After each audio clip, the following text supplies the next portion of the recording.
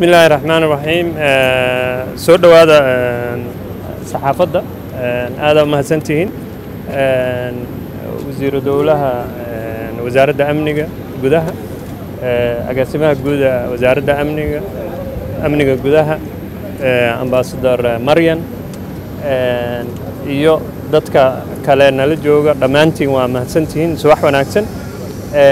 Saaka waxaa aragteen muwaadiniin soomaaliyeed oo boqol ku dhowaada oo laga keenay dalka libiya kuwaasoo markoodii hore ka cararay xasilooni darrada iyo dhibka ay ka cararayeen laakiin dhib ka badan kala kulmay meeshay tageen. Waxaana u malaynaa inay yihiin khubaro tahriib. Haddaa waraysataan ayagaa khubaradii ah dowladda federaalka soomaaliya oo sidaa og tihiin waxay dadaal badan gelisay sidii maxaabiista meelo badan oo caalamka ka mid ah ku jira iyo dadka dhibban ee waddamo badan ku dhibban in waddankooda lagu soo celiyo.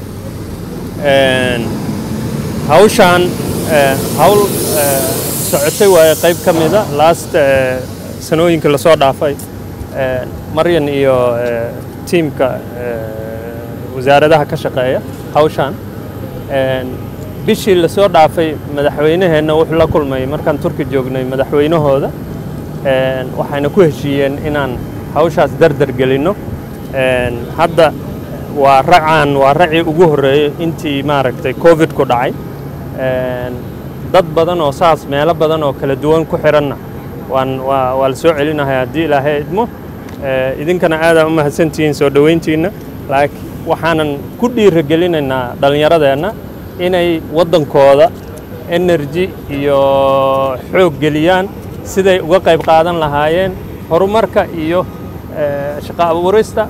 Annagana waxaana laga rabaa inaan ka shaqayno xasiloonida iyo inaan uga dhigno waddanka waddan ay dhallinyaradiisu joogi karaan oo qayb ka qaadan karaan horumarka waddankooda waddankaaga meel ka mudan ma jirto.